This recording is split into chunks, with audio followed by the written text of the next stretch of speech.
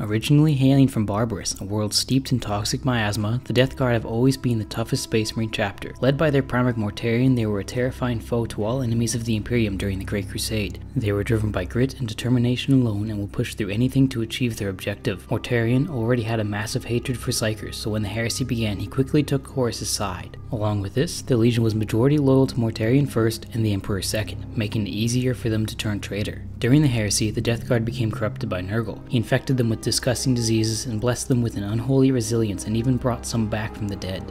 The Legion became unrecognizable, pus seeping from every crevice, bloated stomachs, and pus pustules cracking armor. The toughest Space Marines became even tougher at the cost of their souls. Mortarion ended up ascending into a demon Primarch, becoming extremely powerful and ironically gaining psychic powers.